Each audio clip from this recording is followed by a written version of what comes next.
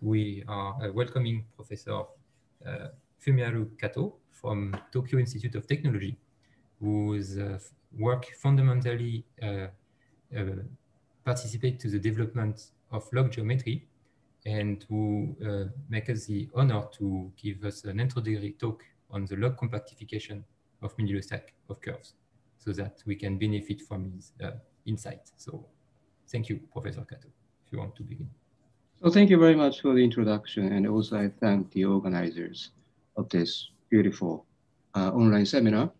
And I'm very happy uh, to have this opportunity to, to speak to you about my very old uh, works and also about my, one of my favorite uh, topics in mathematics, which is log geometry. So here is my title of, title of my talk, and this is my slide. And uh, this is about log compactification of moduli, stacks of curves. Uh, but uh, mostly the one third of my, uh, I'm sorry, two thirds of my talk uh, is going to be devoted onto the introduction to the log geometry itself. And the other one third is going to be um, survey of my um, actually Dr. thesis 20, uh, more than 20 years ago about the moduli of log curves. And the first part of my talk uh, is about the introduction, introduction of the introduction, so to speak. It's a very, very uh, small introduction, only consisting of uh, five or six uh, slides about what we are going to talk about. so now we start um, from, from a very, very classical theory of moduli, space of stable curves this has been already known, I mean, more than uh, 50 years ago. And here is a definition of the stable curves.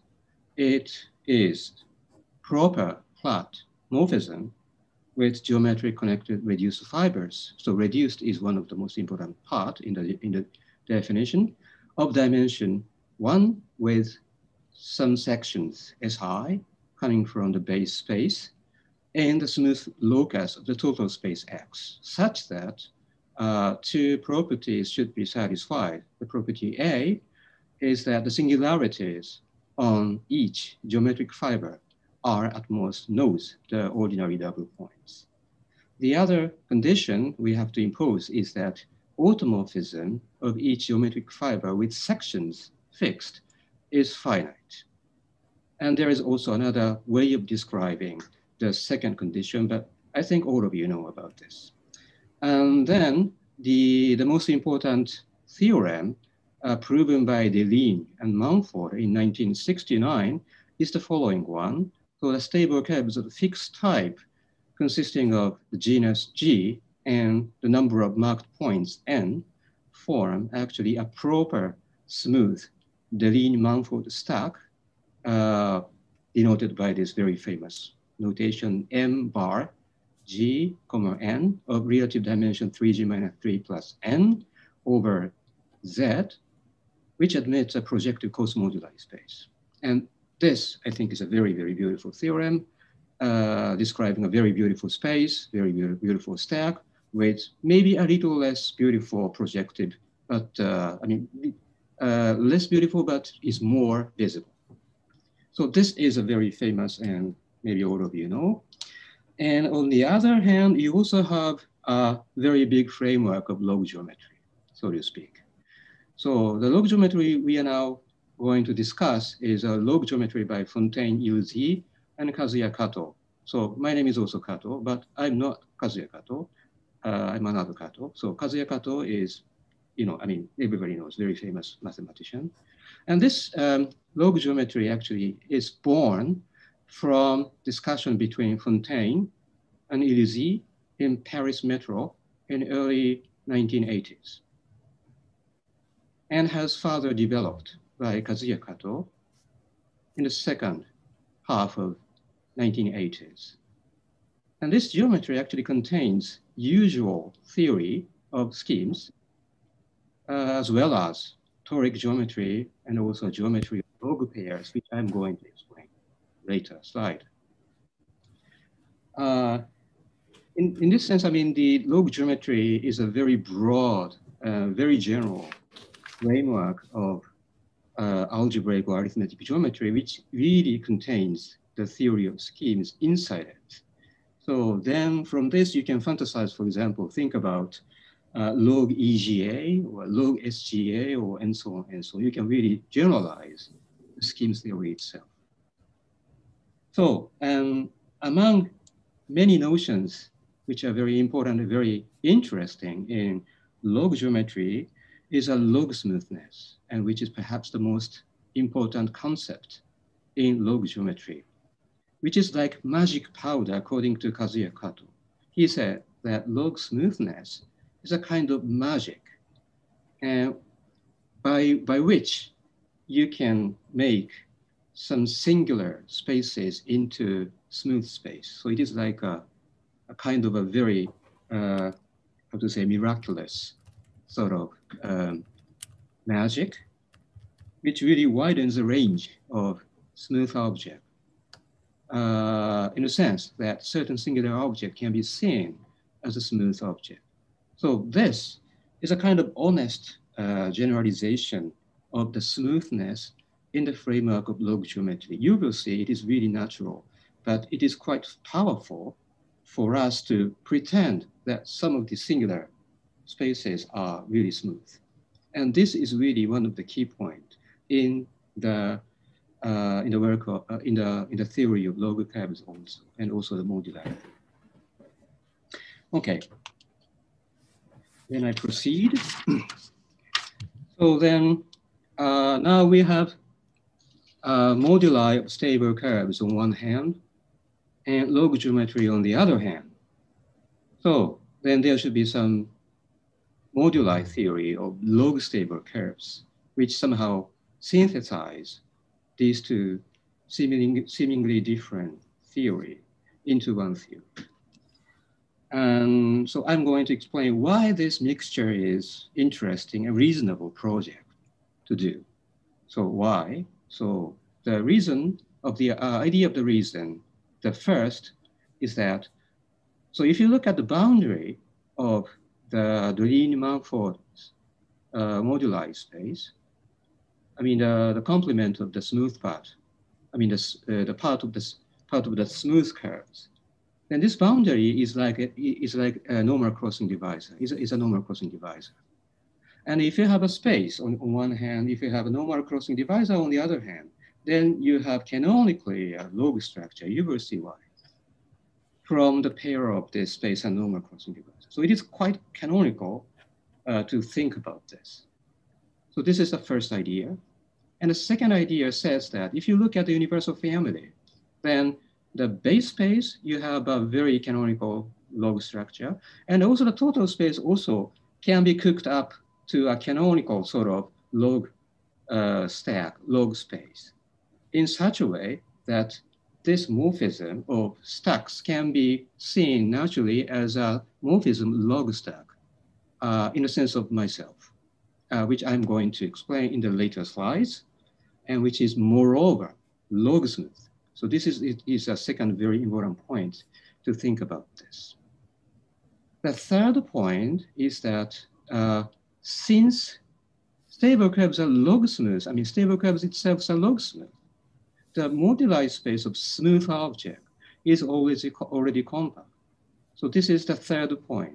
So that means that, uh, as I said, log smooth is like a magic powder, which makes some singular spaces to be smooth. And actually, the logs, uh, the stable curves can be seen in a sort of natural way as a log smooth object. So if you think about the moduli of log smooth object, then you can reasonably expect that this space is already compact. So you don't have to think about, you don't have to worry about compact, compactification. So if it is correct, then it's a kind of paradise, right? I mean, uh, why um, every time you have a mo uh, moduli space, then you have to worry about what is the compactif compactification next time. But in log geometry, you don't have to do that. I mean, the first object you get is already compact. So of course, I mean, things are not so easy like this, but uh, this is the first sort of um, motivation, motivating idea. And another motivation is a more, is more, how to say, pragma pragmatic. So there used to be no modular theory in log geometry, and I thought there should be, there should be at least one. So this, this was the situation more than 20 years ago. Okay, so these are the motivating ideas, why we think it is interesting and reasonable to think about uh, the moduli of curves in the framework of log geometry, uh, which is the thing we are now going to do uh, for, for some, uh, something like two and a half an hour. Okay. Then before going into the introductory part of the log geometry, I'm going to just introduce some of the references. So the first reference is uh, the famous paper by Kazuya Kato himself, uh, Logarithmic Structure of Fontaine and Illusie, uh, which has been published in 1989. And this is really the first and very famous uh, literature, maybe the first appearance, appearance of the log geometry in literature. The second one is the, the, the paper by Martin Olsson, uh, logarithmic geometry and algebraic stack. Um, I am not going to explain much about this paper, but I will mention a little part of this in the, in the end of my introductory part of log geometry. So this is also a very, very uh, important sort of uh, important piece of work in the, in the genesis of the, the modern log geometry, I would say. The third one is uh, Arthur Ogus's book, Lectures on Logarith Logarithmic Algebraic Geometry, which has been actually published, published quite recently, 2018. And um, before this book, there was no systematic and full-fledged book about the log uh, geometry, but we have now this book. So if you read this book from the beginning to the end, then you are simultaneously, uh, you know, um, uh, quite adept about log geometry. And the two things in the below are my pieces of work. So the first one is my master thesis, log smooth deformation theory, part of which I will mention in the later slides. And the second one is the, is the, the piece of work which, has, which is going to be uh, the main topic about the later, I mean, the, one, the last one third of my talk. This is my doctor's thesis, log smooth deformation and moduli of smooth curves. So these are the sort of basic literatures, and of course there are much more. And from time to time, I'm going to point out some of the uh, some of the literature which has not uh, been included here. Okay, so then I go to the uh, log geometry part, unless there is a question from one of you. Okay? So now I go to the introduction to log geometry. So then this log geometry part starts from the introduction of the log geometry. so introduction after introduction. I am very sorry for that. So the, the first motivating example for the log geometry, maybe I should explain the why log geometry has been uh, has been considered. So first motivating example for the uh, log geometry would be this namely the mixed Hodge structure by Deligne. So he said that if you have a variety defined over the complex numbers, then this variety can naturally has a mixed Hodge structure possessed by uh, cohomologies with several uh, coefficients together with filtrations, the weight filtration W and the Hodge filtration F okay? And to explain the idea, let us suppose that U, our variety, is smooth, which can be, which is now embedded into a proper variety X, proper smooth variety X, with the complement being equal to normal crossing divisor. This can be uh, realized by uh, um, uh, Nagata's compactification together with the Hironaka's resolution okay? Then the, the most important uh, object to think is the logarithmic differential complex, omega dot bracket log D. So this is the most important thing to consider here. Why it is so important is that uh, this thing is a subsheaf into a little more gigantic sheaf, the direct, the direct image of the uh, usual de Rham complex of the, of the open part, which is actually quasi-isomorphism.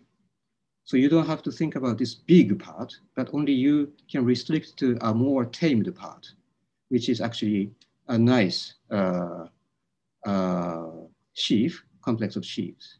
And by this, the, uh, the cohomology can be realized as naturally realized as the cohomology of this complex of logarithmic differentials.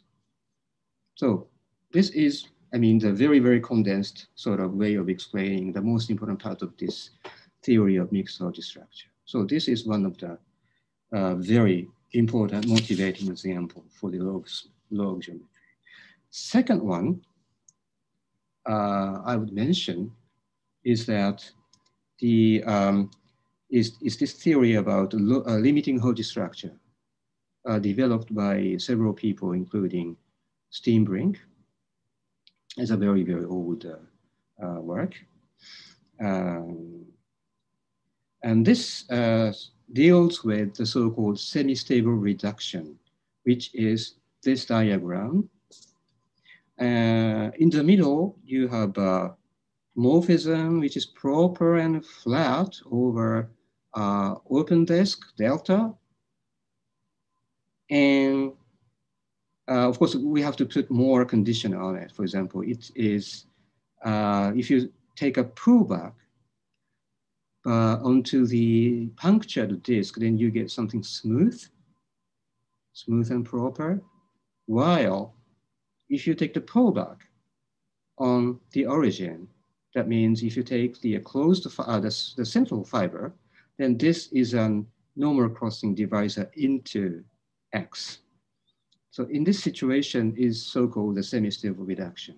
Then the theory of limit Hodge structure asserts that the cohomology, the general fiber, cohomology of general fiber where T is not equal to zero, carries the so-called limiting Hodge structure that measures the Hodge structure of the central fiber.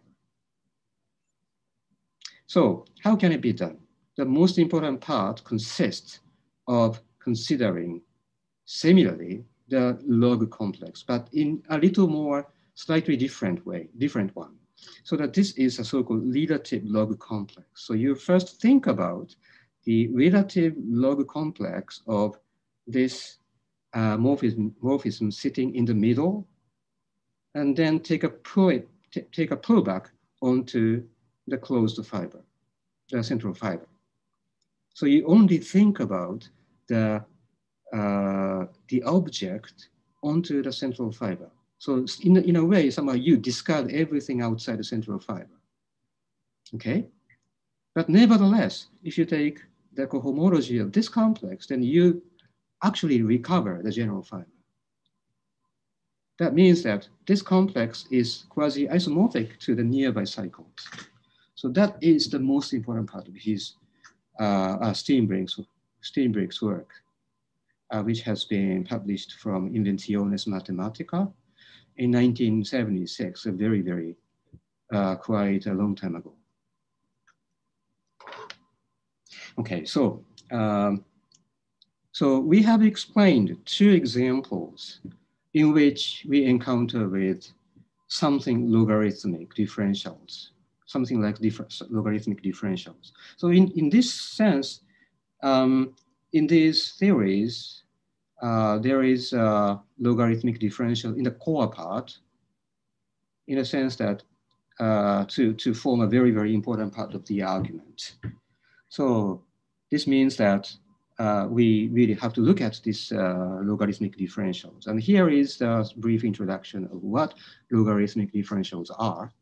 For example, if I start from the normal crossing divisor situation, which I will call NCD situation in the sequel, namely if you have a, a smooth uh, space, smooth uh, variety schemes and so on, uh, embedded into a proper space X with the uh, um, complement being equal to the NCD relative to the base space S, then you can always form the sheaf of uh, logarithmic one forms, which is by definition the OX submodule of the direct image of the usual one form. Uh, I'm very sorry. So here it is. Sorry. So the usual one form of the open part. I'm sorry. So this is omega 1 u over s is the correct. Uh, it, it, it is a uh, OX submodule of this. It are locally generated by the um, um, uh, I'm sorry, so here, here's also something is missing. So D should be here, sorry.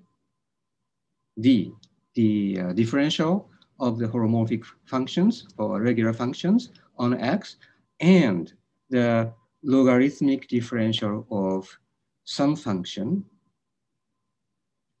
logarithmic differential of some function f coming from this a little bit uh, peculiar looking sheaf, which is a sheaf of monoids.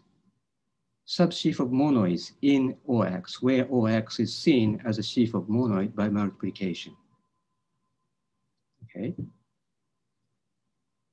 So this is the definition of the log differential. So it is something, uh, uh, how to say, um, coming from the usual uh, differential, coming from the usual uh, regular function, together with some additional part coming from a little uh, augmented sort of functions, augmented coming from the non-zero function on the open part, which is uh, which might be might be zero on on the normal crossing divisor itself. So uh, there are nice properties about this uh, this sheaf. For example, this sheaf in this situation is locally free actually. So you cannot expect that this sheaf is uh, is locally free. I mean, you can say that. Um, of course, I mean this is quasi coherent, but it is I mean far from coherent. But this thing actually is locally free, and you can also describe the free base locally in a sort of very easy way. For example, if your divisor is described in terms of coordinates like this, then this sheaf is actually free with basis this. So it comes from the log differential of the first R coordinates followed by the, the other coordinates the usual differential. okay. Okay. So, so this is the brief introduction to the log, uh, log differentials. And in order to get into the, uh, into the main part of the log geometry, I would like to mention one more motivating example for the log geometry. So, which is actually this, it is a logarithmic differentials in toric geometry. So you will see that log geometry is closely related to toric geometry. So it is a good idea for you, for us to discuss about toric geometry in the beginning of the introduction, in the, in the beginning of the log geometry. For example, if you have a toric variety coming from a fan, the capital sigma, and if you pick up a fan, I'm, I'm sorry, the cone inside a fan, then you can think about the similar uh, log differentials onto the, the affine part corresponding to sigma with the log pole uh, sitting in the, uh, the divisor of this affine part corresponding to sigma, which is actually equal to this very tame looking nice looking sheaf, which is the tensor product of your structure sheaf, tensor product over Z. This is also a kind of a, a nice point with the, uh, this sort of uh, combinatorial part. And this is actually the entrance or entrance to the, the notion of Ishida's complex, so to speak, Ishida's complex. There are two notions of Ishida's complex. Uh, I mean, like homology and cohomology. Uh, this is a cohomology sort of part.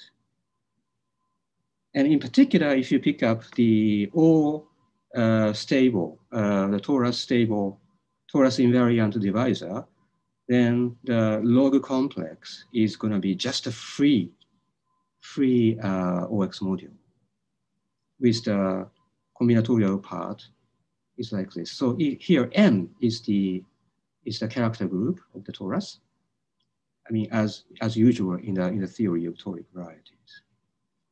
Okay.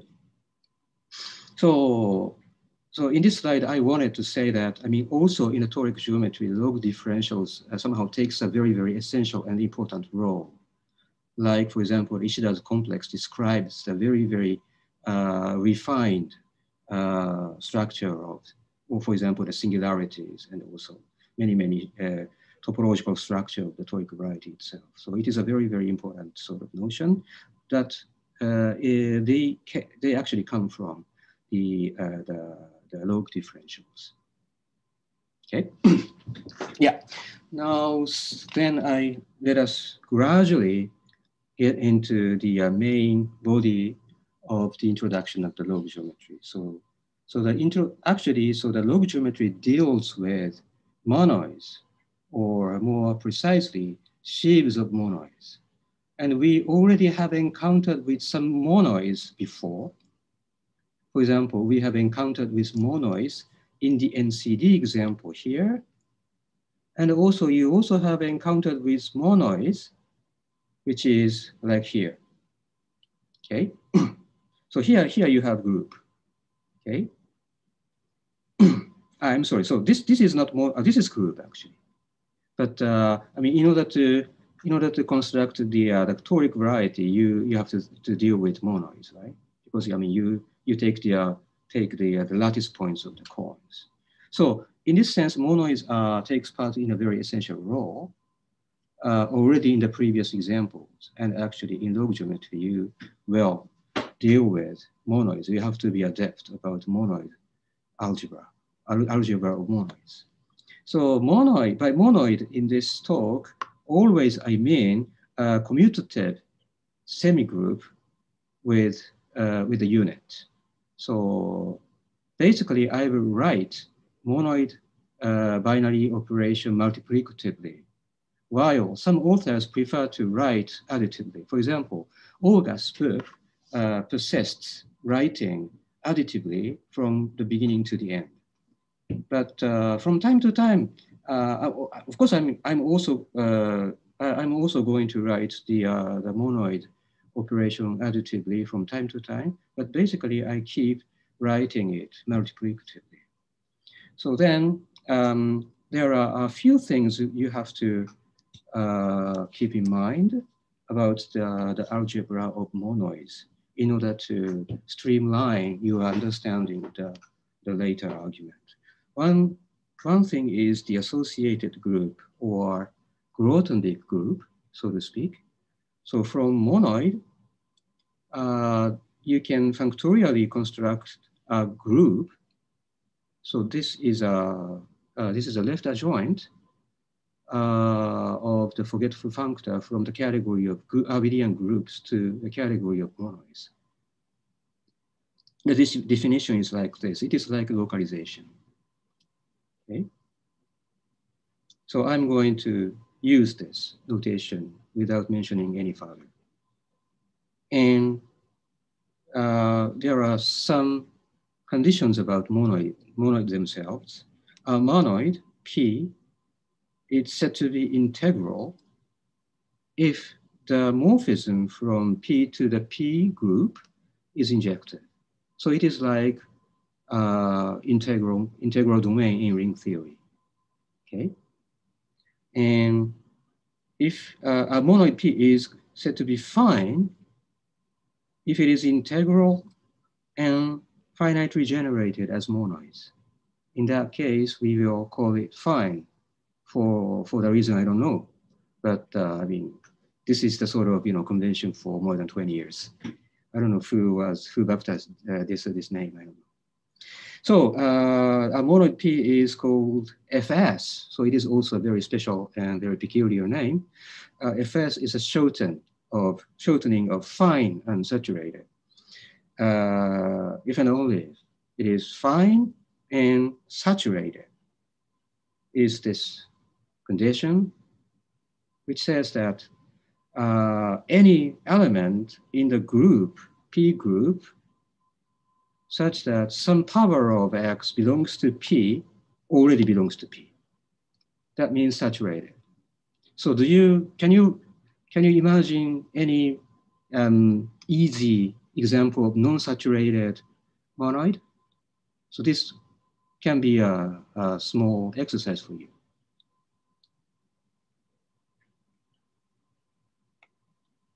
Um, for example, I give you one, one example.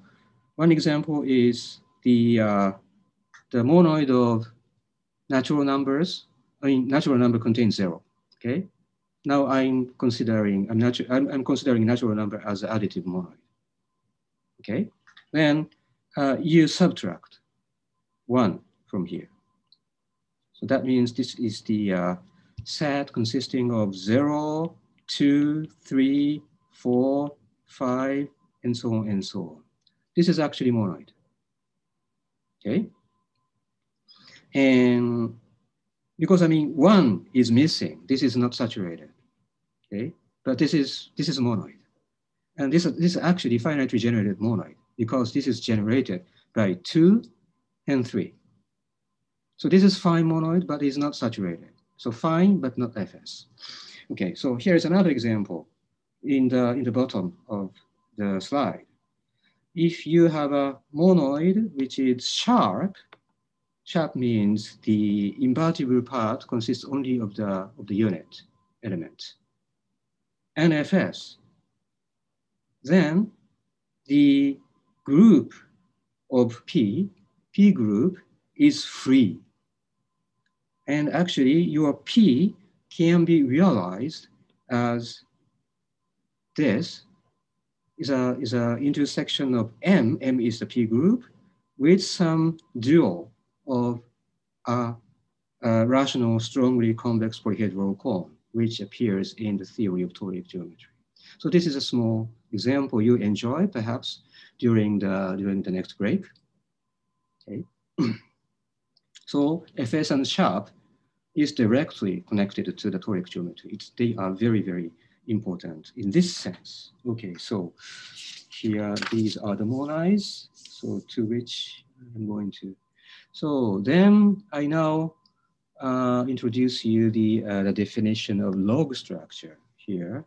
So in order to define log structure, I have to mention that uh, sheaves are considered with respect to étale topology without mentioning, if, if I do not mention any anything contrary to this. So the definition, starts from the definition of prelog structure.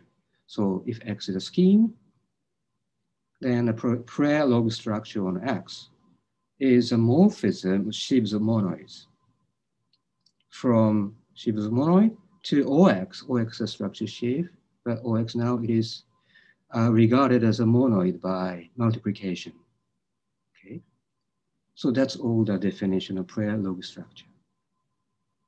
Then Second, the prelog structure is said to be a log structure if the pullback of the invertible part of the structure sheaf is isomorphic to the invertible part of the structure sheaf by the map we are now considering. That means that you have another copy of OX uh, times OX times inside M. So this is the definition of log structure. So, I mean, first looking, uh, maybe you will think that this is a little strange sort of uh, object that you will gradually realize that this is going to be a very, very natural thing to, to think about in the theory, in the whole theory of log geometry. And uh, because of the definition, you have a, uh, you have a functor from the category of prelog structure on X to the category of log structure on X. This is a forgetful functor. I mean, the prelog structure, I'm, I'm sorry. So what am I saying? I'm, I'm, uh, it's, it's the other way around. I'm sorry. Log structure to the prelog structure. I'm sorry. Okay, so this is a forgetful functor. But there is a, a left adjoint to do this, which is, uh, namely, you have a prelog structure, then you have the associated log structure. So it is like, for example, uh, you have a sheaf associated to a pre-sheaf. So the things are very similar to this. So if you have a prelog structure on one hand, then always you can, you can form a log structure by uh, push out in the category of monoids, in the category of sheaves of monoids, uh, so-called amalgamated sum. Okay, so I'm not, I'm not going to, you know, uh, to describe the, the, the, precise definition of this amalgam sum. Uh, you will find uh, the definition of this object, any literature about log geometry. So which is uh, in, I mean, now, uh, which is not now, uh, not so important for, for our purpose now. Okay. So this is a definition. So then I give you several examples of log structures coming from the, the real phenomena in mathematics.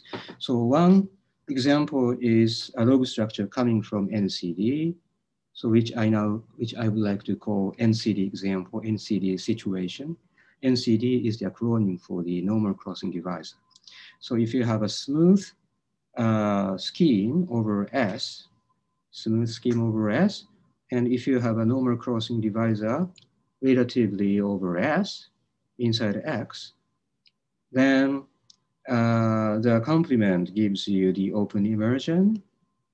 Then this thing, the intersection of the structure sheaf together with the uh, direct image of the invertible part of the open part uh, embedded into the structure sheaf is a log structure, which is the canonical log structure coming from the pair consisting of X and D. And we already have encountered with this sheaf before. So you remember it, right? So this you remember so now I go back to uh, this, yeah. So I have explained the definition of log differentials. Uh, in, in that slide, we already have had this sheaf, yeah? And this sheaf is the uh, sheaf consisting of the function uh, to which we uh, have to take the, the, the, the, the, log differential in order to form the log differential sheaf, right? So this is the structure we are thinking about. And this is really the log, uh, log structure. So in a sense, I mean, this somehow explains the first reason why we think log structure in this form, in this form. Okay, and here is the uh, local description of the log structure, more, more detailed description description. If the normal crossing divisor D is given by this, by this spec with the, with the relation x1 times up to xr is equal to zero, then the log structure given by here is the log structure of associated log structure of the prelog structure described by this. So because I mean this divisor D is defined uh, by the product of x1 up to xr, you can think about the morphism from the R pro direct product of R copies of the natural numbers to the, st uh, the structure sheaf um, uh, defined like, like this. Okay. Then if you take the associated, uh, I mean, the, so this NR is now considered uh, considered as a constant sheaf on X. Okay, then uh, the associated log structure is actually equal to this log structure. And another uh, way of describing this, uh, this log structure is the following. So M is actually the direct image of the log structure. So there is a notion of direct image in the log structure. I'm not going to explain this. Of the trivial log structure, I am going to explain this later. So trivial log structure on, on U. So the open part has a trivial log structure. Trivial means you only have this as a log structure. And you take the direct image log structure on it, onto X, then you get this. So there are several ways of describing this log structure. So many ways. Okay, so now I look at the clock. So then, uh, um, okay, let me, so let me deal with a few more slides and then go to the, is it, then go to, go to the break. Is that okay? Okay. Okay, now I explain the pullback of the log structure. I was mentioning about the direct image. Now I go to the pullback. Pullback is more important, so I have to explain. So if you have a morphism of schemes from X to Y, and if, if you have a, a log structure on Y, then you can pull it back to the log structure on X by taking the associated log structure of this morphism. So in the previous NCD example, so you have a log structure on X, which I have defined, but locally, in order to, in order to make a local description, you first pull it back to a étale neighborhood, V, and take a smooth morphism onto the spec of this form. Okay, this is the affine affine scheme over A, uh, affine, affine space over A, affine R space over A. Okay, so V and X are of n dimension, and while this is R space, R dimensional space, so here you have n minus R dimension difference, and that's why I said this is smooth, not étale. Okay, then this part has a log structure coming from this very uh, nice looking homomorphism of monoids. Homomorphism of monoids, I mean from NR to the uh, monoid algebra A and R, which is only the uh, polynomial ring of R variables over A. And if you take a log structure defined like this on here, put it back onto V, then this is the log structure you are considering uh, about from, I mean, by taking, a, uh, putting back the log structure on X onto V. So that's, uh, that's the way I said that the log structure here is a, uh, is a local description, it's a local description. Okay, so the pullback of log structure can be used in this way. So in this sense, I mean, pullback is quite, uh, you know, frequently used sort of thing. Okay, so then I can uh, talk about charts. And maybe this is a good timing for us to take the break after that. So the chart is another way of describing log structure, which is very useful. So if you have a log structure on then a chart of X is a morphism sheaves of monoids from a constant sheaf of a monoid P to N such that the associated log structure, the pre-log structure of this composition is isomorphic to M.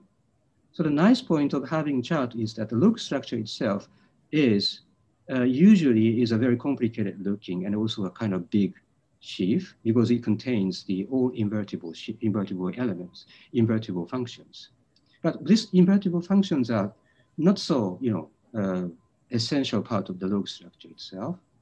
But the most important part is actually the complement of this uh, invertible part. So from time to time, you, uh, you want to have a little more handy way of describing uh, log structure. And the chart is, exists for this reason. The chart is a way of describing log structure by means of constant sheaf. Of course, constant sheaves are much more easier object to deal with. So so in the NCD example, So we, from time to time, go back to this example. So in this example, the, uh, we have a étale local chart of the uh, log structure on X because you have a log structure pulling back to V, étale neighborhood, which is smooth over this space. And this space has actually uh, this very uh, handy looking homomorphism prelog structure, which is described in this way. Yeah, if you pull back this morphism to the to to the homomorphism between this uh, monoids, then you get this. This gives you the chart of the log structure we are we were interested in. Okay, so now I have talked around 45 minutes from the beginning. Maybe I now take the break for 15 minutes, right? Yes, perfect. 15 okay. minutes will be perfect. Thank you. Uh, uh, let's say we will meet again. Um, At five past. Okay, five past. Okay, very good. Five past uh, five o'clock. Yeah, perfect. In JST. Yeah. okay, let us have a break. Let's break. Okay. Okay, thank you. And now I go uh, yeah. into the second part of my talk. Okay. Hmm, please. So, okay, so the next uh, topic I'm going to talk is talk about is fine and FS log structures. Uh, this is a sort of minor uh, thing. Maybe you will you will understand. You will understand quickly the definition. The log structure is said to be fine or FS if there is a chart étale locally uh, from fine or FS monoids. So that's so I mean this requires you two things. So this log structure should have a fine, uh, should have a, I'm sorry, should have a chart, étale local chart. So it can be described by the constant sheaf. And moreover, the, the, uh, the monoid itself has to satisfy some, some monoid theoretic conditions. Okay, and here I would like to mention that uh, if it is, if the log structure is fine, then what we denote by m bar here, which is actually the quotient of m itself by the invertible functions, is also uh, fine. And if I'm sorry, this is fine. It's not fine. This is fine. I'm sorry. Fine.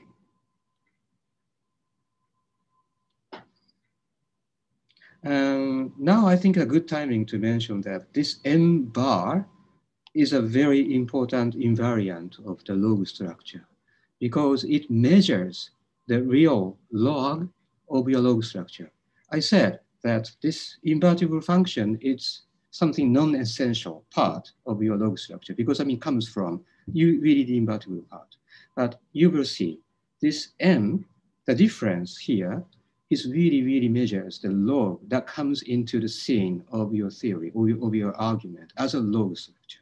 So in this sense, log experts will call this sheaf log. I call sometimes characteristic of the log structure M. But some, somebody said just log. So logo of the log structure is this sheaf. Okay? So now I go to a further example um, I'm sorry, exercise. So here is a construction, a small construction chart. So I was mentioning about chart.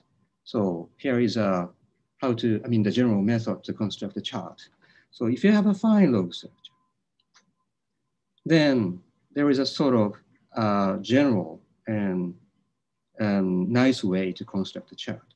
So you take one point, then you consider the, I'm sorry, so this M should be calligraphy. Okay, you take this log, I mean the stalk of the log group. Then, uh, because I mean this is a finite generated abelian group, you have a surjection from a free abelian group. Then you have a, because this is free, you have a lift from Zn to the log structure itself without bar. Then you have this part of the diagram. Take the set theoretic Cartesian, which I denote by Q. Then Q is equipped with the homomorphism to the log structure, the stalk at X, or more precisely, the separable closure of X. Then this extends to the local chart. So you have to work, work a little bit, uh, work, out, work out a little bit to prove this. But as a matter of fact, this extends to the local chart. So this is a general method to construct the chart, especially if your uh, log structure is FS, then as in the last exercise I have posed to you, this group is itself is fine, it's free. So you can just take this to, to be just uh, to be your ZN. In that case, uh, what you get here is just identity. Okay, so in that case, uh, you can get, you can take a, a file, uh, your, your chart by means of the, by means, I'm, I'm sorry, so what am I saying? So this is, aha, uh -huh, oh, I'm sorry. What am I saying? Ah, okay, I should say, I should have said that then in this case, this Q is isomorphic to the log of the stalk of the log. If if uh, if you if you take Zn to be just the the log, the group part of the a group group of the log. Aha, yes, I, I missed. I'm sorry, I missed the missed bar here. Hmm. I am very sorry for this. I am very sorry. Hmm. So, uh-huh, so.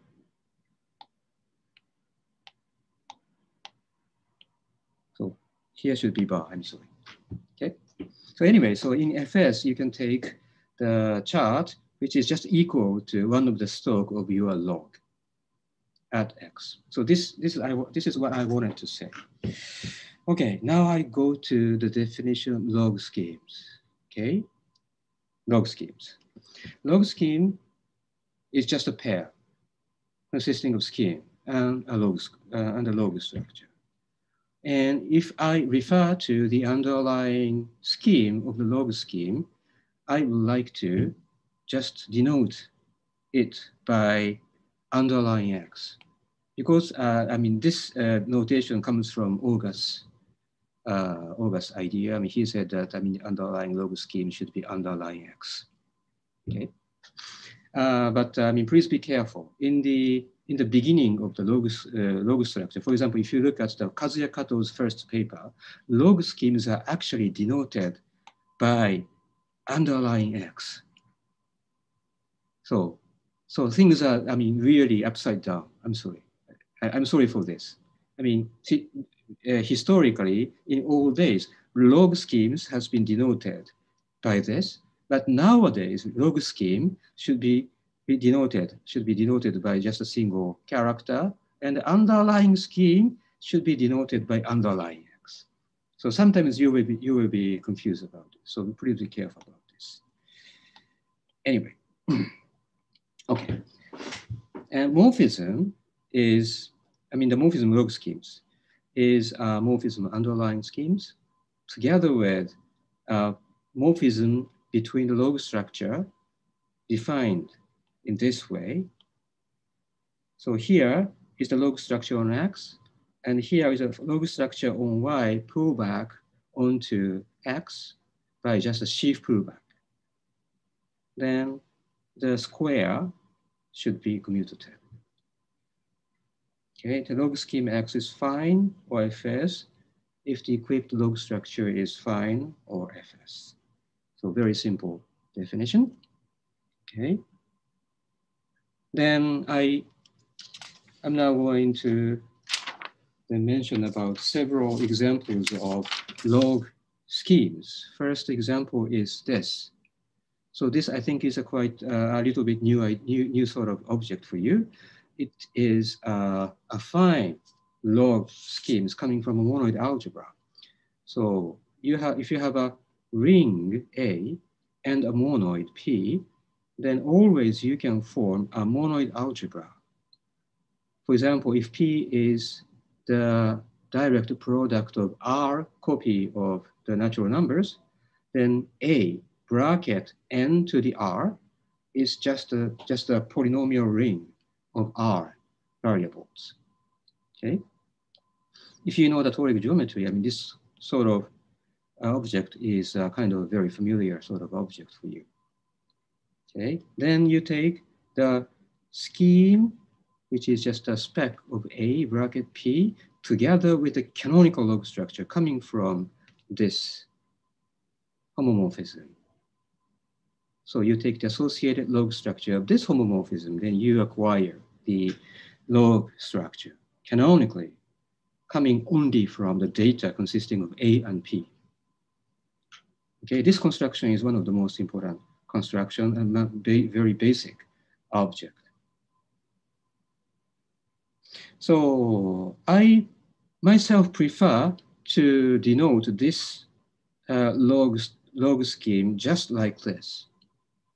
Just declaring, uh, I mean, declaring that it, it, it has the canonical log structure like this. But uh, Ogus uh, has written, has denoted uh, in his book by this character, by this notation, hmm. where this uh, capital A uh, is not uh, does does not have anything to do with our ring A. I mean, in his notation, spec Z bracket P is AP. -hmm. uh, I don't like it so much. Anyway, so uh, so please keep in mind this. So I will use this several times from time to time in the sequel. Okay, this example is quite important. Now next, the toric example uh, where am I? Ah, yes, toric example. So the toric scheme can be can actually be regarded as a log scheme in the following way. Mm. So uh, if A is a ring and N is a co-character group and M is a character group in toric situation as usual. Then if sigma is the rational strongly convex polyhedral cone in N, then you have the affine toric variety. But look, this construction just matches with our previous example, previous construction, right? It is just the affine scheme of the monoid algebra. So that has the canonical log structure. That means that without saying, without writing anything, we, just, we can just say this is log scheme, okay? So it is so canonical that all these affine p's can, can actually group. That means that if you start from a fan, then you just have a log scheme, which is the toric variety together with the canonical log structure on each of the affine patch, patches. Okay, they glue to the global log structure. So very beautiful picture, right? And some remarks, the log structure on X sigma is Fs. Thus we have a functor from the category of fans to the category of FS log schemes. So everything is canonical. And I now would like to mention that this picture has been drastically generalized by Kazuya Kato himself in his paper published in 1994 uh, entitled Toric Singularities uh, from American Journal of Mathematics. This is a very remarkable paper, by the way. I mean, it contains the generalization of the toric construction and it matches to the uh, construction of the log schemes. So he can speak about, for example, the general notion of fans equipped to uh, log schemes, not necessarily the toric schemes. So this this is a very remarkable paper. So if you are, I think it's uh, it's worth reading if you are, I mean, if you have free time to do. Maybe I mean over meal or over lunch, tea. Nice, nice paper. Anyway. So then, then I we go back to the uh, normal crossing divisor. So log scheme from normal crossing divisor. So you, I think you all, all you know. So if you x is a regular scheme together with a normal crossing divisor, then uh, you have this as the uh, log scheme so that you have a fs log scheme which represents the pair of x and d. And this you uh, this leads to the functor from the category of pairs consisting of regular scheme and normal crossing divisor to the category of FS log schemes. That means that the FS log scheme contains, so to speak, the theory of pairs. And here is a tiny example.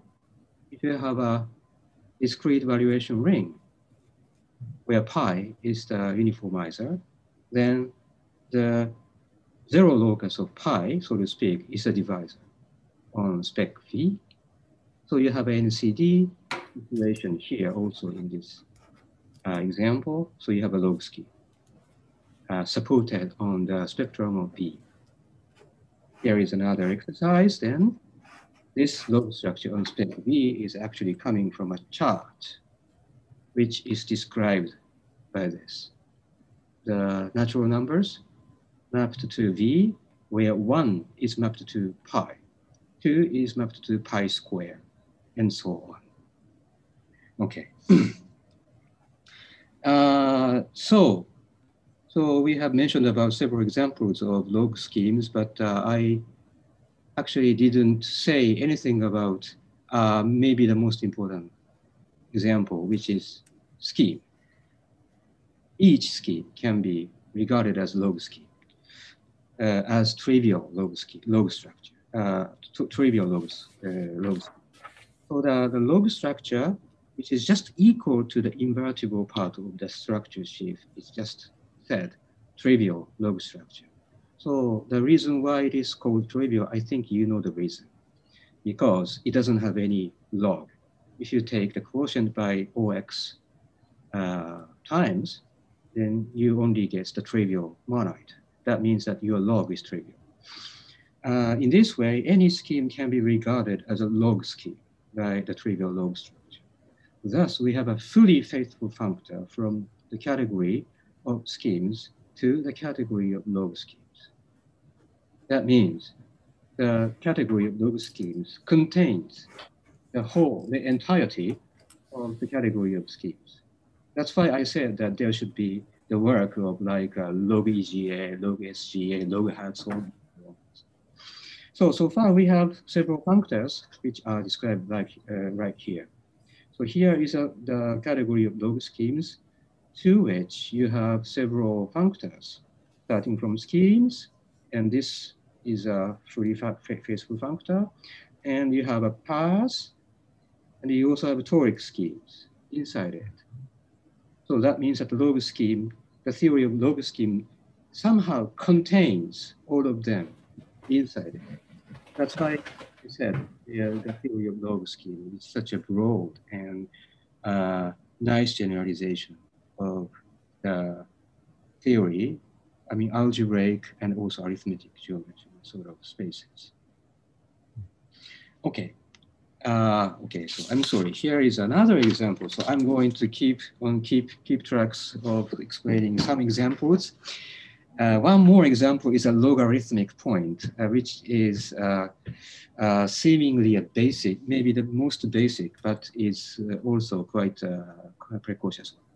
So the log logarithmic point is a log, a log scheme supported on the spectrum of a field. So if K is a field and P is a sharp monoid, so what sharp means is that the invertible part of P is consists only of the neutral element. Then you have a log structure on spec K uh, from the homomorphism from P to K, where, where this map maps each element A to one or zero, uh, according to A is one or not one. A little com uh, confusing sort of thing. For example, if you start from the natural numbers, then A is mapped to, mapped to one if it is not one, zero if it is not zero. If, if, if P is N. So it is a little, little confusing. But anyway, so, I mean, if you have sharp monoid and a field, then, I mean, you can define the log, the log structure in this way. And here is a lemma. If K is algebraically closed, then log structure on spec K is of the above form. So this is the first classification theorem of log structure. You see, I mean, if you have a if you have a scheme, then you are interested in what kind of log structure this scheme would have. And normally speaking, this problem is very difficult to solve. But if your scheme is spec K, where K is algebraically closed, then uh, they can be classified uh, perfectly like this.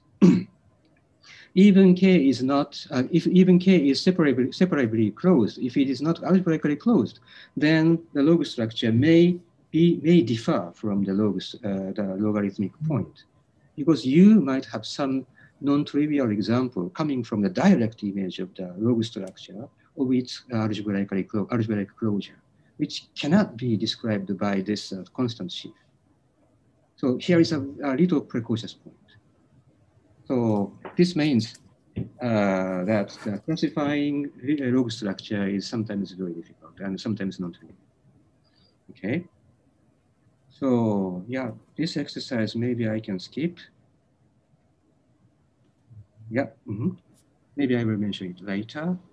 So then, ah, yes, we, we have to go on like this a little more. Uh, okay, so, um, so we have mentioned about the chart and here is the time you have you, you are going to remember the definition of chart. So here the definition is the, uh, for defining strict morphism. A morphism of log schemes is called strict if the pullback log structure from y is equal to the uh, is equal to the log structure from x. That means there is no difference between the log structure up here and downstairs. Mm-hmm. That means that is the definition of the strictness for the morphism. And with this language, a chart can be replaced. I mean, the definition of chart can be replaced as the strict morphism from X to the spec ZP together with the canonical log structure. Okay, and in terms of this language, we can go for defining chart of morphism like this. A chart of a morphism, not for a single space, but for morphism, is a commutative diagram like this, where each row defines charts of x and y, and a morphism from the right-hand side come from, comes from the homomorphism of the monoid in question.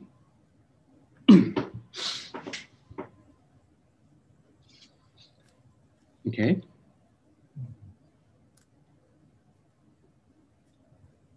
Then having the notion of chart, now I can go to the semi-stable reduction example. Okay, so let us remember what semi-stable reduction is. Semi-stable reduction over, for example, DVR is a morphism from X to S, uh, which is smooth outside the origin and the closed fiber is a normal crossing divisor. That's the semi-stable reduction in our case. Then you have an NCD log scheme on the spec V, which I have mentioned before, and NCD log on the total space X, which I also have mentioned before, because you have a closed fiber, which is, which, which is NCD in X. And then you have a morphism from X with that morphism to S with that morphism too. That's the log model of the semi-stable, semi-stable reduction. And here is the local description by means of chart, which is, which is beautiful enough. So from X to S, the structure sheaf from OS to OX in a sort of, uh, I mean, economical way of writing. I mean, we dropped the F inverse. Then the log structure up here is from N to R to OX, where EI goes to XI. Down here, downstairs is, uh, is given by from N to OS, from which maps one to pi. Okay, then here, this morphism should be a diagonal morphism. That makes this square commutative. And this gives you the chart of this morphism, the log version of the log uh, semi-stable reduction. And this will come up, come up uh, later in explaining that this morphism is actually log smooth. Okay.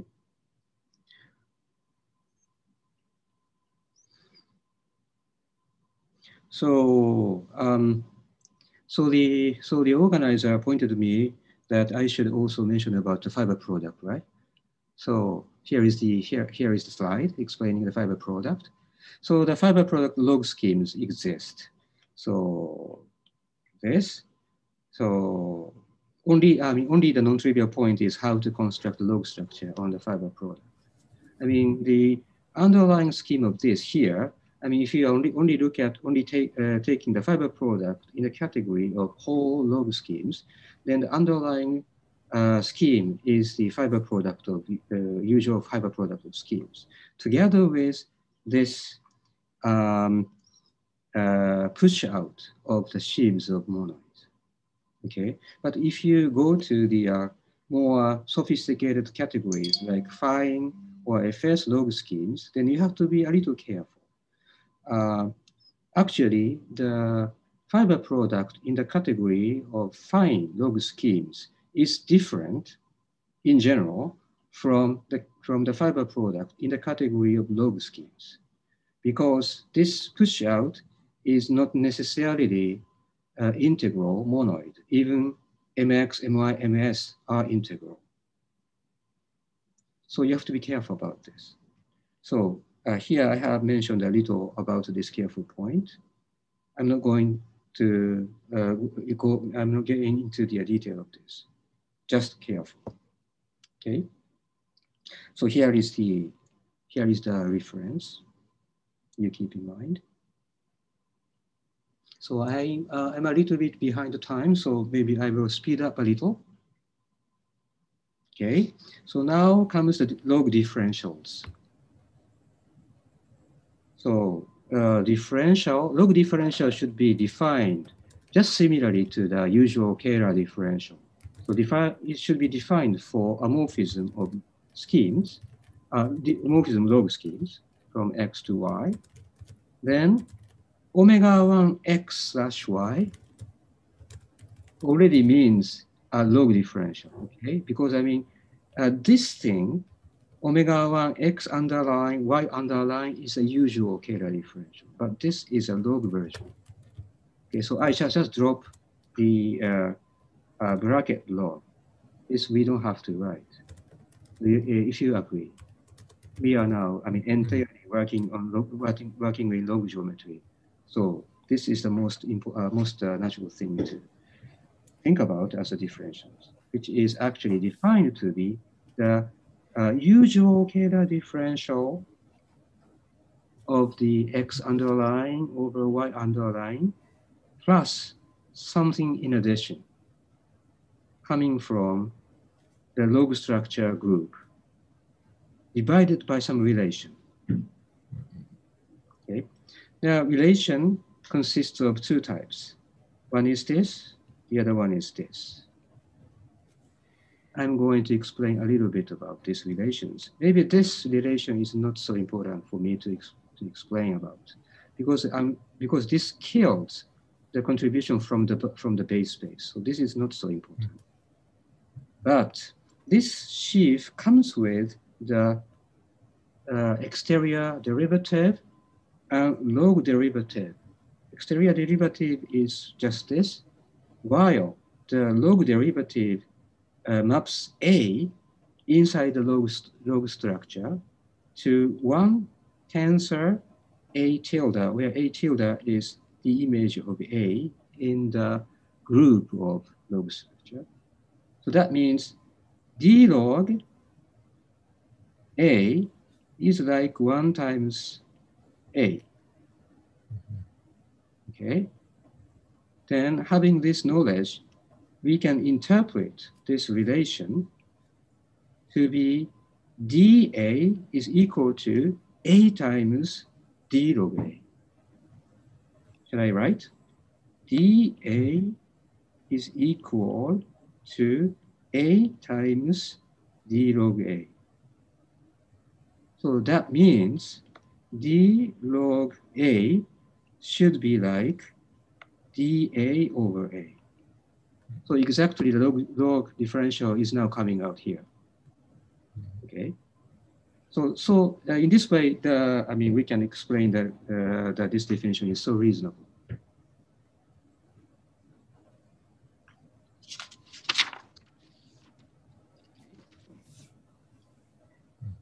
And actually, this definition is so successful that it can, uh, we can uh, prove many theorems starting from this definition. For example, I mean, if x and y are strict, x to y is strict, then the log differential just coincides with the classical differential.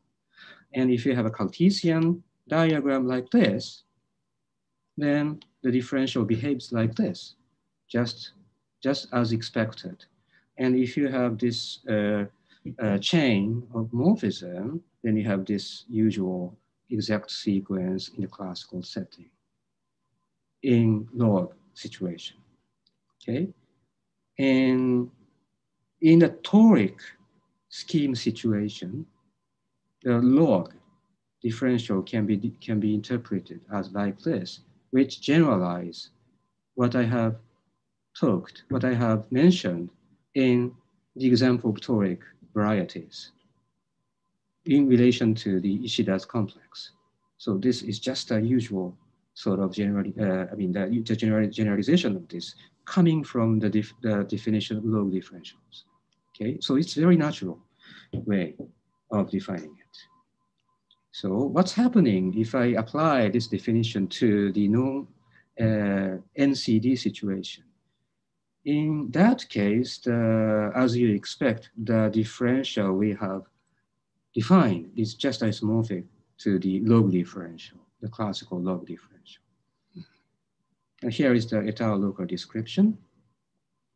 If X is the affine space, if D is the normal crossing divisor defined by this relation, then X has a strict smooth morphism onto spec A bracket NR.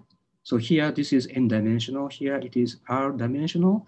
So you have a smooth morphism here of relative dimension n minus R. Okay. Then from this picture, you can actually calculate the log differential by means of this toric description. Then what do you get is this is actually this is just uh, what we have uh, described in the beginning of the introduction. Okay.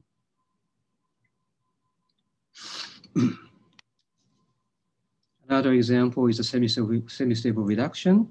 So if you have a semi-stable reduction picture from uh, over to over the, disc, uh, the discrete valuation ring V, then the relative differential, log differential, is just a relative log differential I have described before. Here is a description. Our um, semi-stable reduction is described by means of this diagram, where x prime is the Cartesian coming from this toroidal situation together with some strict smooth morphism, which adds some n minus r relative dimension. Okay, then the log can be described perfectly by this diagonal morphism. That means that the omega 1 here is the log differential sheaf divided by some relation coming from the base. That, that is this. The sum of all uh, log differential of the coordinate is equal to zero. Okay. okay, now comes, so I have 15 minutes in explaining rest of the log geometry part. So now comes the log smoothness. Okay. So uh, log smoothness is the most important part. So maybe I should take a little more time to explain this. Uh, log smoothness is, uh, is like, is defined uh, just like the usual smoothness in the usual algebraic geometry. So how do we define smoothness in algebraic geometry? So one way of doing is by nilpotent thickening, like in EGA or SGA. Hence, in order to do it, in order to mimic it, we have to have the log version of the thickening. And that's why I put a definition here. The definition is about exact closed immersion, so to speak, and thickening. So S0 to S is called exact closed immersion if it is strict and closed immersion. So this should be should have been called strict uh, closed immersion. I mean, in retrospect, from now, but at that moment, I mean, there is there was no terminology strict, and exactness. I mean, there is also a notion of exactness. It can apply to this situation. That's why it is called exact closed immersion. Uh, I do not explain what exactness is. You will find in literature anywhere. Mm -hmm. So the second one is that S0 to S is thickening of order up to N is uh, exact closed immersion and kernel to the power N plus one is equal to zero. Okay, so it is quite uh, um, just as just the same as the usual thickening.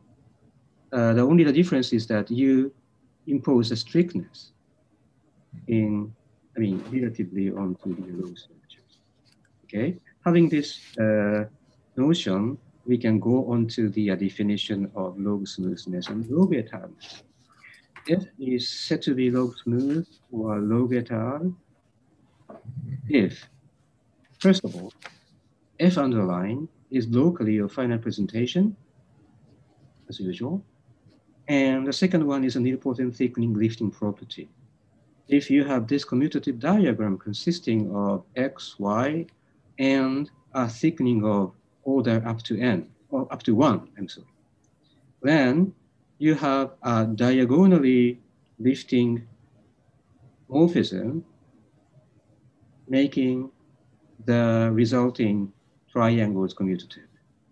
And if this lifting exists uniquely, then you say that this is log étale. So this is really a honest mimicking of what uh, is done for defining smoothness and étaleness. For example, in EGA 4 or SGA 1 expose, uh, third expose, section 3. Okay.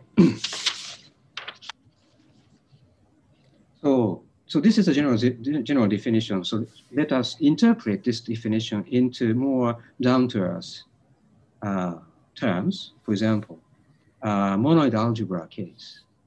Then the log smoothness and log étaleness can be interpreted into a little more, in, a little more easy uh, way of description. For example, if you have a morphism from x to y coming from a homomorphism of monoids from Q to P, like this. This is a toroidal uh, situation I said. And you take K to be the kernel of the Q group to P group, and C is a co-kernel of it. Then F is log smooth if K and C torsion part are finite and of order invertible in A. okay? And F is log étale if K and C itself are finite of order invertible in A. So this is a fundamental lemma which has been proven by Kazuya Kato. The proof you can see in the first paper by Kazuya Kato. Corollary, any toric scheme over spec A with trivial log structure is actually log smooth because of this. In that case, um, uh, in that case, because I mean the, the base space A has trivial log structure, Q is a trivial monoid. So then uh, C doesn't have torsion part because P group is free. and kernel is of course uh, trivial. So this condition apply. That means that your toric scheme is actually log scheme, uh, uh, log smooth scheme. Okay. And developing this, Kazuya Kato acquired to a more fantastic, uh, perfect toroidal characterization of log smoothness, which I would like to mention next.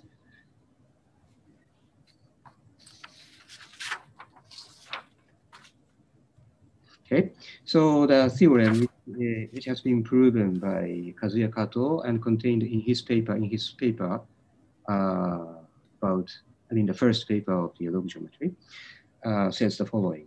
A morphism f x to y is of fine log schemes is log smooth or log étale if and only if uh, it allows an étale local chart described by place where from Q to P satisfies the corresponding uh, conditions similar to the previous one. K and C torsion part are finite of order invertible X, or K and C itself. Okay, so this is uh, uh, the, the same condition as previously. And the second condition is that uh, from this commutative diagram, mm. we have an induced morphism from X to this fiber product, which is strict smooth in the usual sense, or strict étale in the usual sense. so the log part, uh, log structure itself is determined entirely by this. So the other part should be strict. And this other part should also be smooth or strict in the usual sense in order for f itself to be log smooth or log étale. So a very reasonable situation. I give you some examples before getting to the second break. So examples, uh, first example is tame covering. So if uh, you have a morphism from spec AT to spec AT, so it is a covering space, covering coming from the multiplication by n which is log étale if n is invertible in A. Even though it, it, it, it has a ramification, but this ramification part uh, is, is in the center of the log, which has been somehow magic powdered into log étale, right? So many people think that it is very weird, but uh, in log geometry, this is a very natural thing. It is étale, okay? Uh, another thing, uh, uh, maybe this second example is more shocking. log modification. So if Q is inside P, uh, satisfying that Q group is equal to P group. I mean, this situation comes, for example, from the, from the subdivision of fan or toric blow-ups. So this is a very, very usual situation. Then the uh, induced morphism is just is, uh, is really log étale. That means that blow up is log étale. So log étale even doesn't imply flatness on, on the uh, underlying scheme. So maybe some people would think it is very, very strange. But from, for example, toric point of view, I mean, this is quite uh, natural sort of thing. And also from log geometry point of view. So now I have three more slides to finish the whole uh, explanation about log geometry. Mm -hmm. So another example, NCD. NCD uh, example gives you the log smooth uh, space. So X with normal crossing divisor gives you the uh, log scheme X, which is actually log smooth over the base with trivial structure, trivial log structure. This you can prove by means of the by means of Kazuya Kato's uh, characterization.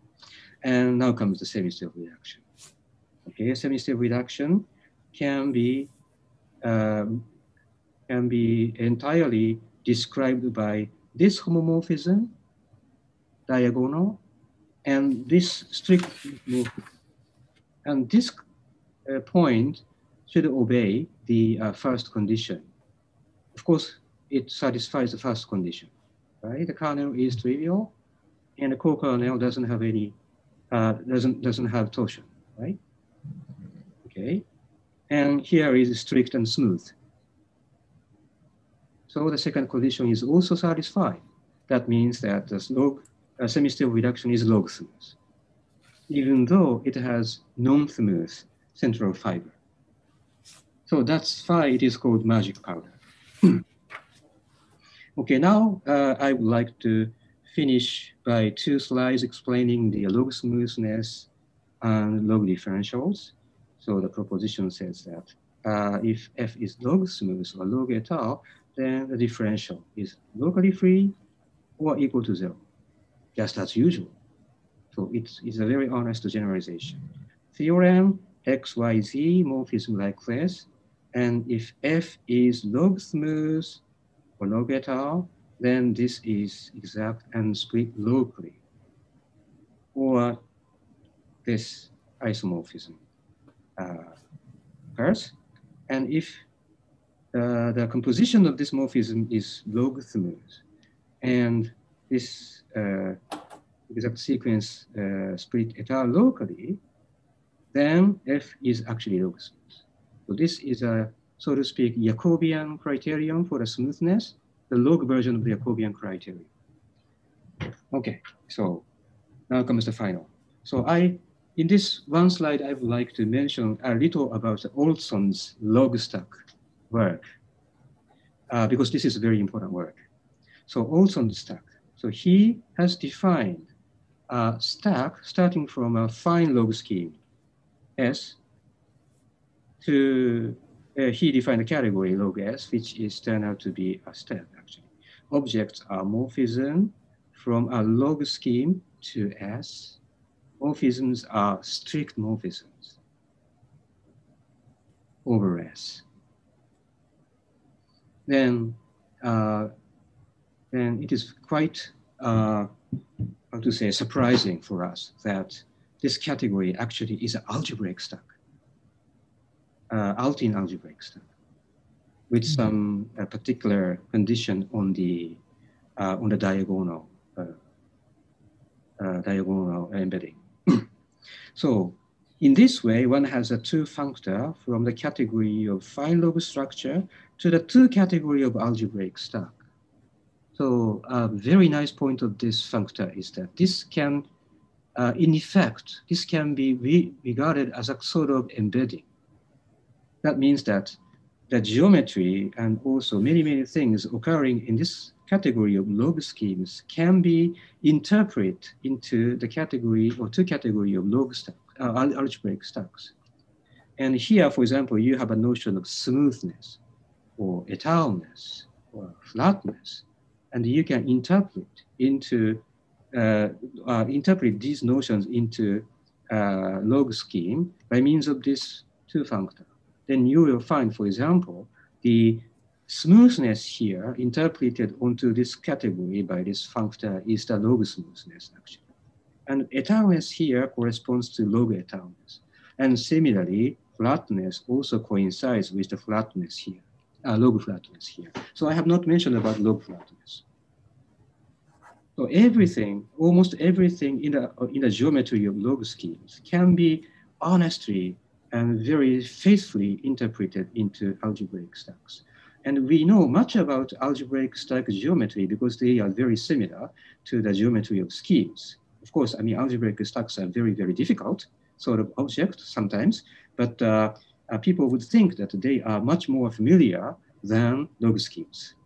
But in this way, they are interrelated. So the log scheme things can be interpreted into algebraic stack. So you will find uh, many, many geometry uh, coming from the geometry of algebraic stack. In this way, this is a very, very beautiful sort of picture. So all of this story is written in this paper. So I think now comes the time for us to take another break. Is that okay? Uh, another 15 minutes? Yes. Okay. Okay, so then I go to the third part, uh, uh, namely the survey of my very old work in my doctor thesis. Uh, it is about the moduli of log curves, log stable curves. So, um, so this starts from the definition of log, log curves. So, I mean, already you you have uh, you have encountered with some of the terminology in the in the definition. So, a log curve over an fs log scheme S is a log smooth and integral. So, this integrality I will explain later. Integral morphism f from x to s of fs log schemes uh, whose geometric fibers are reduced and connected curve. So geometric fibers are, I mean, the underlying scheme of the geometric fibers are reduced and connected curve. So I only impose the reducedness, connectedness, and log smoothness, and some additional condition, which is integrality, which is written on the, on the footnote of this slide. Integral for a morphism is, so to speak, a monoid version of flatness. So this is closely related to the Benjamin's first question. Yep. So the, because the log smoothness doesn't imply flatness in the underlying schemes, I should impose something similar to this in order to make the notion of log smooth behaving uh, reasonably. The integrality and log smoothness imply that the underlying scheme is flat. The integral, integrality of the morphism is defined in terms of uh, this last three lines of the slide. You see, I mean, this is a, a little bit complicated uh, uh, definition, but it somehow mimics the characterization of flatness by means of relations. Uh, you will find it in Bourbaki algebra, commutative algebra, the first volume. Yeah. So the, the important, exam, uh, important conditions for the log curve is that it is log smooth and integral. And of course, also the underlying scheme should be reduced and commutative. So then, um, uh, any geometric connected smooth curves are log curves with trivial log structure. So, I mean, log curve contains the usual smooth curves. Uh, log smoothness and integral, as I said, implies that the underlying morphism is flat. Okay, this is a definition of log curves. That's all. And then I'm going to give you the classification of log curves in the next few slides. So log curves over a separably, closed field are characterized like this. Mm-hmm. Um, so this is my theorem uh, so let f x to s, where s is the spectrum of a field, a separably closed field, together with some log structure, be a log curve. Then first, the underlying scheme x has at most k-split, k-split ordinary double points. Second, the stops of the relative characteristic, so to speak, defined to be the quotient of the log structure upstairs divided by the quotient of the log structure downstairs. That measures the difference of the log structure in between upstairs and downstairs. are described as follows. Let R1 up to RL be the set of all, all double points of the underlying X.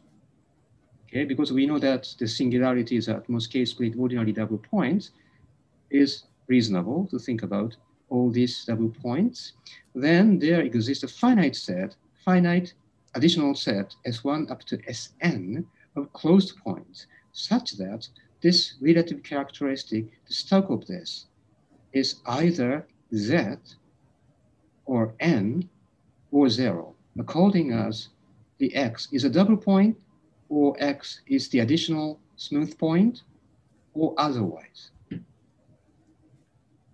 So this somehow classifies the relative structure of the log structure on the log curve.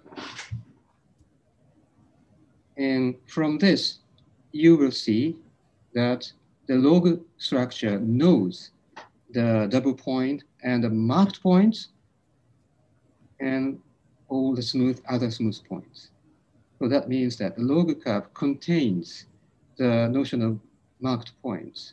I mean, usually marked points are defined in terms of sections, but in log situation, uh, it is just, I mean, built in in the structure of log structure. Okay. so already this uh, theorem has a complicated proof actually, a little bit. So I'm not going to, into the uh, proof of this, but uh, this can be, this, this is a doable sort of thing. And another uh, theorem about the local structure of the log structure of log curve is the following. So I keep uh, working with the uh, log curve over the separably closed field together with some log structure, which is not specific. Okay, then the, the log structure of the base scheme is actually a log point. And around a double point upstairs, the log structure is looking like this, where n square is coming from the NCD sort of uh, log structure. I mean, this should remind remind you of the semi-stable reduction situation. But you have some additional part which comes from the downstairs. Okay, and around the mark point, Sj, the log structure is just the product of one extra n together with the log structure coming from downstairs. While in the double point case, I mean, back in a double point case, this is not a direct product, but is a amalgamated product where n inside n square is a diagonal.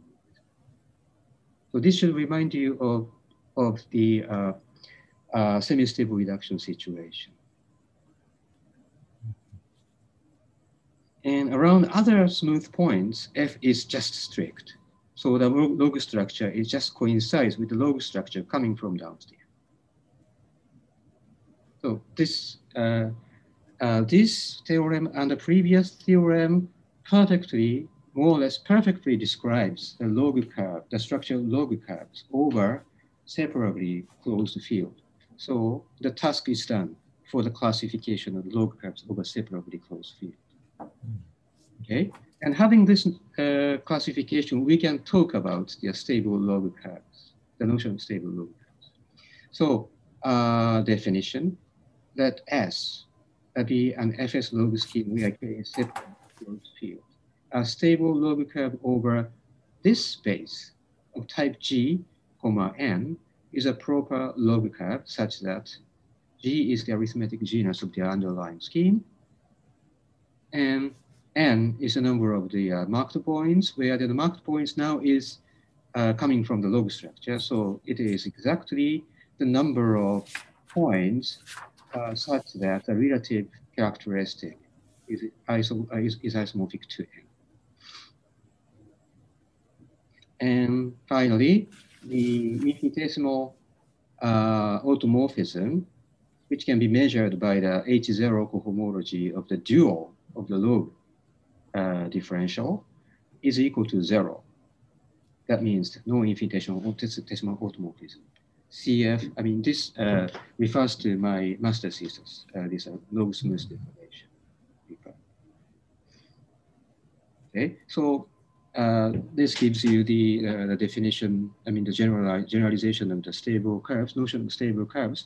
In this context, proposition, the, uh, in this situation, the uh, log differential can be uh, described in this way, where this small omega is the usual dualizing uh, sheaf uh, in the in the usual I mean the classical uh, nodal curve case. So this is a log log differentials together with some marked points. And another proposition means that uh, the log smooth deformation of uh, this thing is unobstructed with the tangent dimension exactly equal to 3g minus 3 plus n, which comes from my master thesis. Okay, so so far everything is good.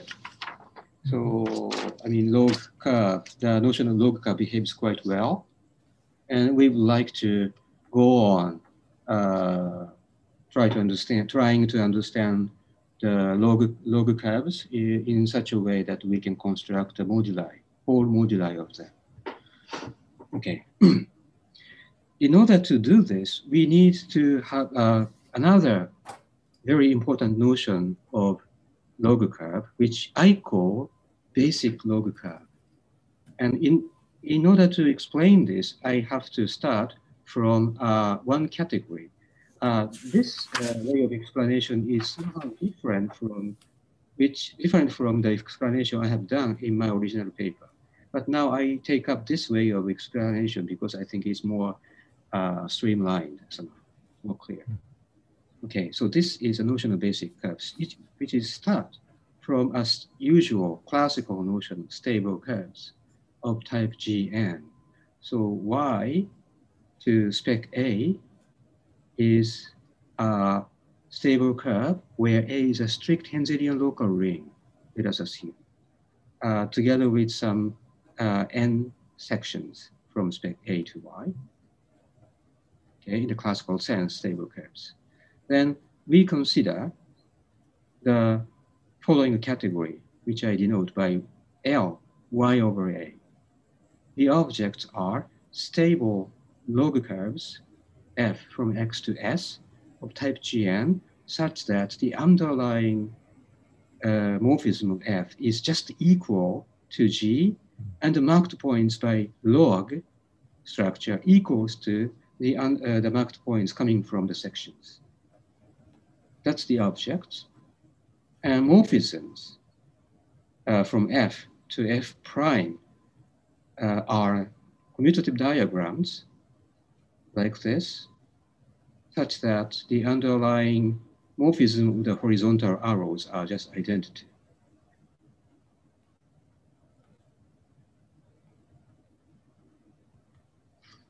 So this is a category classifying all possible log structures making the stable curve of type Gn to be a log curve of type Gn.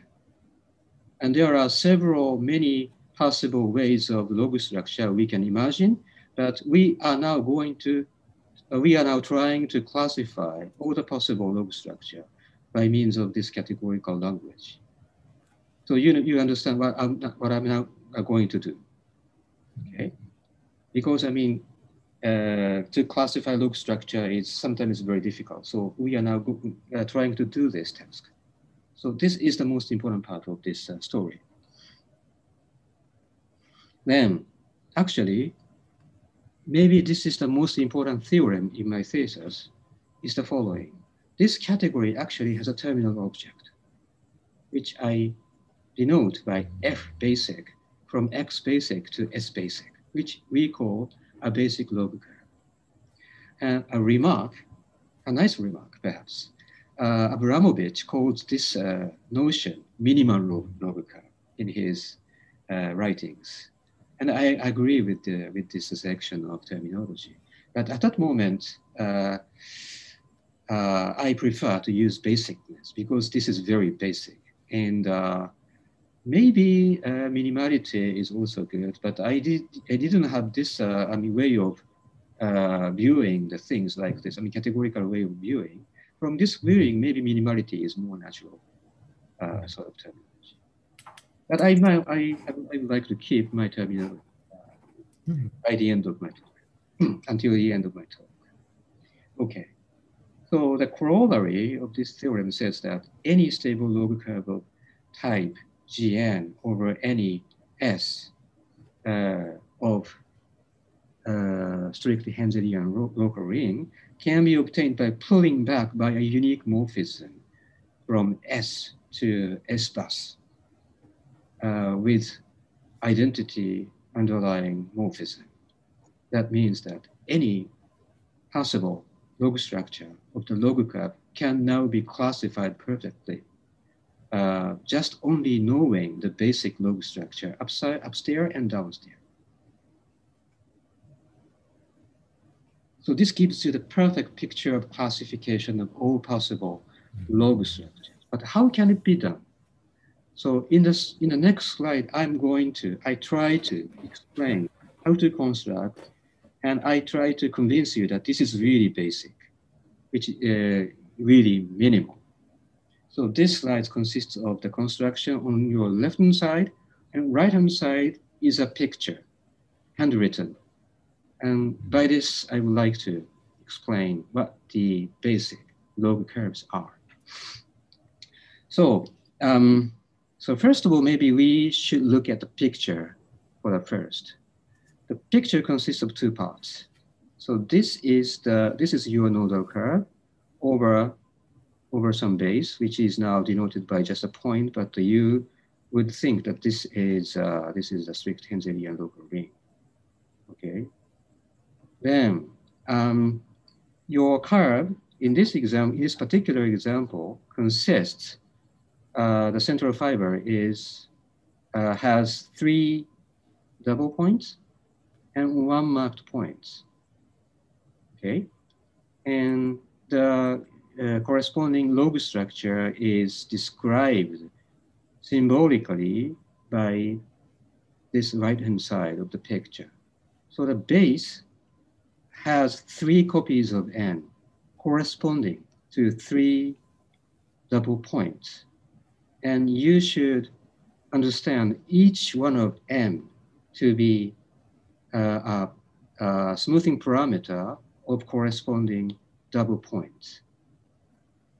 Okay? So each n goes on to uh, uh, continuously a log structure on on, on the total space, while each double point gives you some extra addition to this corresponding n, namely n square occurs pointedly corresponding to the double points. And the n from the bottom uh, is embedded into this n square diagonally. Okay. And corresponding to the marked point, you have the isolated n, which doesn't have any anything over, anything coming from the, uh, from the base, which is like hovering n. Okay, and this n uh, is responsible for changing the position of this marking point by log smooth deformation. Okay, while this n on the base are responsible for the smoothing of each double points by log smooth deformation. Okay, that's a general picture of the log, basic log curve together with the basic log structure. Okay, how do I construct this? The construction is like this. So let D be the set of all double points, where di's now is a double point if you consider the, the nodal curve over, over, over a field. But if it is over some more general, general base, then you argue that D is the zero locus of the first fitting ideal of the uh, classical uh, differential module that is a locus of the failure of the locally freeness of this module that corresponds to the double locus. And you decompose this D into the connected components. And each connected component should be, uh, should be deformed to uh, smoothed by one parameter. So each connected component should correspond to one copy of n in the, in the base. Okay. So in order to achieve this, I first consider ui to be the complement of dj's where j is not equal to i. Okay. Then this looks like uh, étale locally looking like xy is equal to ti. So this is the ith uh, double point. So this ui is the neighborhood of the ith double point. So now we have this UI, so we can endow the semi-stable reduction log structure on UI and also spec A, the double, I mean the base, base space. And extend it to the whole Y uh, by, strict, by strictness. Okay, so this we call ALI on the base and MI on the total space. And we collect all of them. ah, I'm sorry. So before that, I have to also deal with the, uh, the marked points. So N should be the normal crossing divisor log coming from the marked points of the complement of the uh, discriminant locus. Yeah, and I extend it uh, trivially onto D. That's the another log structure N. Then the log structure on X should be the product of all M1 up to ML together with the another additional log structure coming from the mark point. And the log structure downstairs is L1 plus up to Li. That's our like log structure of the parameters, the deformation parameters. So that's the explanation of the basic log structure. And I hope that you think this is beautiful and this is basic, and actually this is very, very minimal. And uh, of course, I mean, proof, uh, for the proof, you have to work out uh, a little more, but uh, uh, the construction is quite uh, natural. And it is also um, possible to, to show that this log structure gives you the minimal log structure in the sense I have previously mentioned. and moreover, I mean, this construction can be globalized. So theorem, the existence of basic log structure. For any scheme S, so this, uh, now the base scheme is not necessarily a local, local ring, but it's just a scheme for any scheme and a stable log curve of type Gn in a classical sense, there exists uniquely a log structure mx and on y and log structure ms on spec A. I'm sorry, what is spec A? Oh, I'm sorry, so A. Uh, A is uh, A is uh, arbitrary ring and S is the uh, log, log scheme having spec A as the underlying. Maybe I'm tired enough. So uh, MS on spec A, such that this uh, you have this morphism of log schemes satisfying the following two conditions. Uh, A, the marked points by the sections SI coincide with the marked points by log, and moreover, for any X on a base, uh, the strict Henselization at X gives you, by pullback, the basic log curve, which I have cons uh, considered previously, okay? So this is a global part, and of course, I mean, this is, uh, this is uh, technically more hard because, uh, uh of course, I mean, this is technically uh, kind of a hard part of my theory, but uh, morally speaking, this theorem is the most important part. I think you all agree with. I mean, this, this gives you the, the perfect classification of the possible log structure. Okay, so having all this, now I go on to the, uh, the theory of moduli, of log curves. In order to do this, I somehow try to interpret the, the story of log geometry in terms of stacks. So now I go on to mention about the log structure on stacks. So here, stack means, always means stack in groupoids, and which is not necessarily algebraic sometimes it, it should be algebraic, but uh, I mean, I don't care about algebraicity of, the, of my stack. So the definition, uh, log structural stack here. So the stack, which is over S scheme with the topology, étale topology, is a functor L from your stack to the category of log schemes over S with trivial log structure such that the diagram, resulting diagram should commute, and that the uh, uh, the functor sends every morphism to a strict morphism here.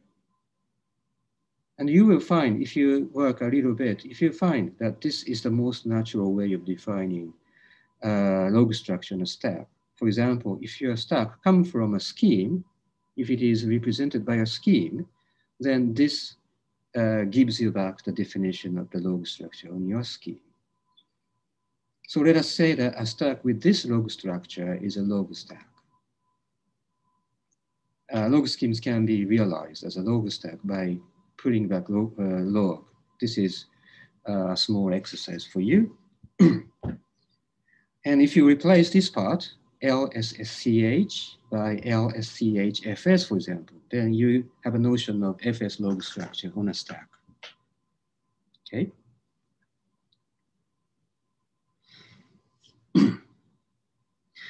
then um, from this notion of log stack, uh, you have the associated stack over the category of log schemes. So we have two notions of stacks. So a stack with log structure, stack in the usual sense, over schemes with log structure, and a stack over the category of log structure. And we, I, am now distinguish these two. And this is the second one, you see. So we consider the log, the category of log schemes over the uh, underlying scheme of S with trivial log structure with the strict étale topology. So it is étale and strict. Then uh, we have a construction, general construction from log stack to a stack over log schemes.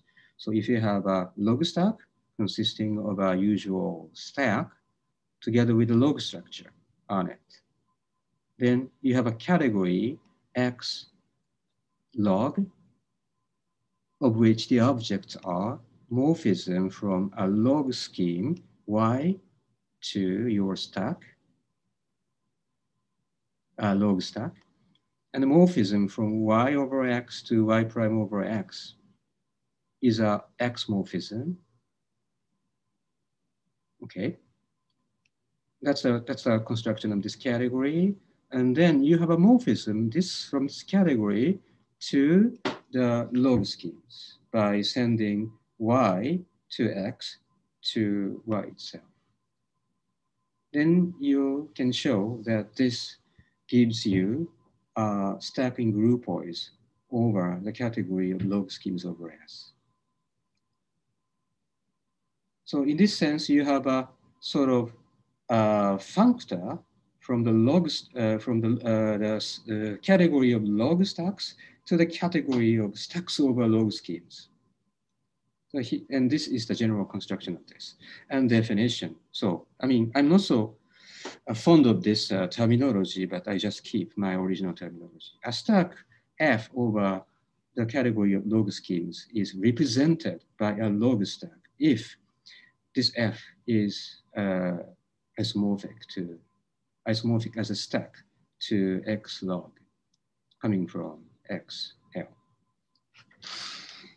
Okay, so we have two notion of stacks, but they are somehow interrelated. You can construct the stack over log schemes from log stacks. And having these languages, we can describe the moduli stack of log curves in the following way. Okay, the stack of log curves. Now I define this category, which the objects are log stable curves of type G and, and morphisms from x over s to x prime over s are Cartesian diagrams like this. Then it is not so difficult to see that this gives you a stack over the category of log schemes, I mean the FS log schemes.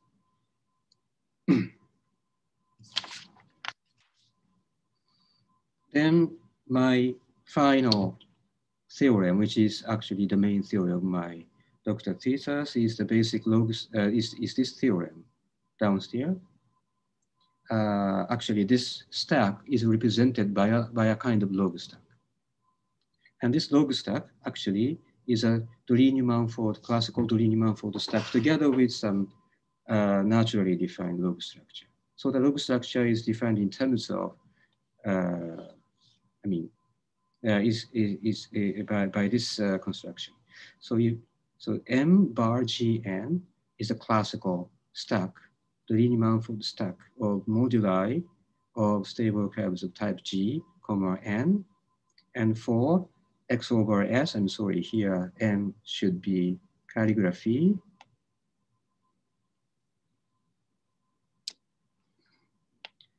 Uh, for X over S, then you consider the basic log curve associated to X over S.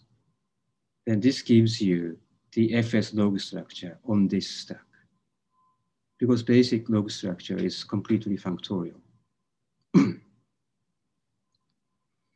and remark, this log structure should be understood as the NCD log by the discriminant locus. Okay, then the theorem says that my stack over the category of FS log scheme is represented by this log stack with the underlying stack to Deligne-Mumford stack with the basic log structure. So this was the main theorem. So this is the all the contents uh, in my uh, in my work about the log curves. And uh, now I think it is going to finish my time of my talk. So before doing that, I would like to mention one more slide in which I, I somehow collected the related works uh, which are more new. I mean, uh, at least this century. So uh, my story consists of uh, the representability that comes from the minimality of the log structure. That was the main sort of stream of my theory. Yep. So that's why I, I, I, here, I have written here the minimality implies the representability. And this uh, story actually has been generalized and more uh, fantastically uh, argued by Gillam uh, in his uh, paper logarithmic stacks and minimality in International Journal of Mathematics eight years ago. So here you find the more generalized picture of this minimality or basicness implies representability. and uh, I also would like to mention about the moduli of log stable maps. Uh, this has been developed by many, many people, including Gross-Siebert and Abramovich, Chen, Marcus Wise, and many others, which I must have missed many names, I think. And uh, the story is quite similar. Of course, I mean, they, they, uh, they are technically more difficult, but the, quite, uh, the stories are a little bit uh, quite similar. They also pursues the basic or minimal sort of log structure in order to acquire with the, uh, the similar story to have a modular space. So that thirdly, um, in the beginning of my lecture, I have mentioned about the mixed structure, and I have never get back to that story again. So I think I should uh, mention something about the log version of the Hodge structure sort of story. So there is a notion of log Hodge structure developed by Kazuya Kato and Sampei Usui. And he, uh, they have written a book uh, published from Princeton University Press a very impressed, uh, impressive book. In, in this, they uh, uh, recovered the toroidal compactification or partial compactification of the Hodge, uh, period space of Hodge structure by means of log, log uh, structure or log geometry.